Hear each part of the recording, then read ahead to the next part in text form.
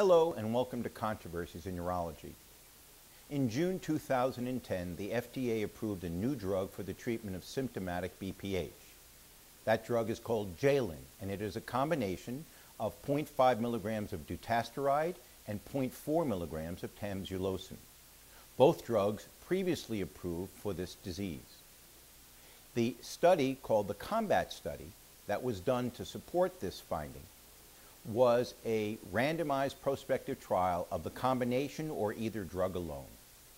And the study showed a statistically significant improvement that was greater with the combination compared to the other therapies, both in terms of reducing the IPSS score and improving the flow rate.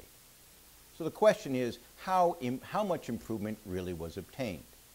It turns out that about 72% of the men getting the combination had at least a three or more point drop in their IPSS score, compared to only 67% for the Avodart alone or for 62% for the tamsulosin alone.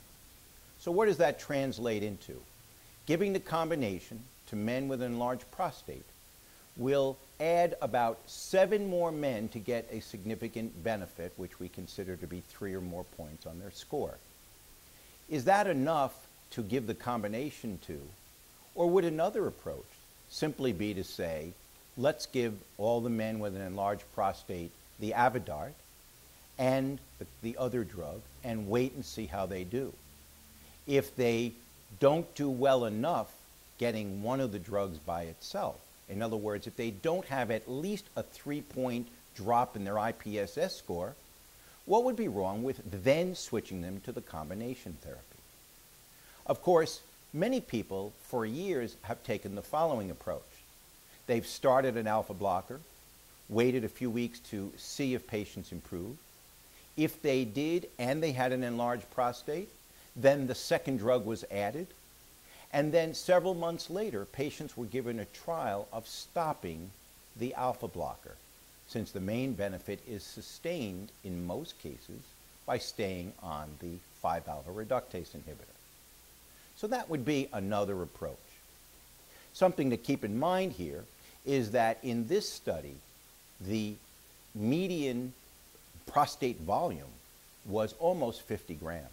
So these are very large prostates. The average was almost 55 grams.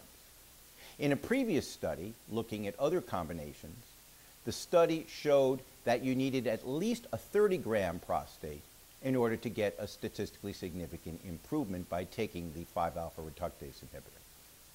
So I think we have a significant improvement here that will help some men.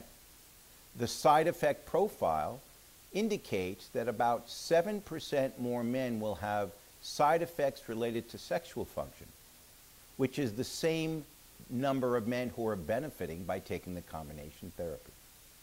Fortunately, those side effects will go away if the drugs are stopped. So the bottom line here is, for a man that comes in with symptomatic BPH and an enlarged prostate, certainly he should be offered the combination pill as one way to treat his disease.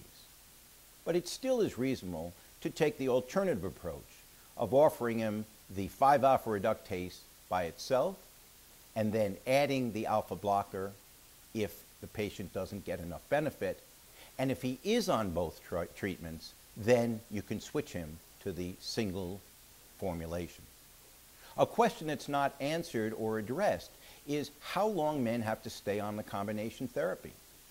Is it possible that over time they can stop one of the drugs, namely the alpha blocker, and simply remain on the 5-alpha reductase inhibitor, the Avodart, in order to prevent other events from occurring, such as the need for surgery. I look forward to your comments.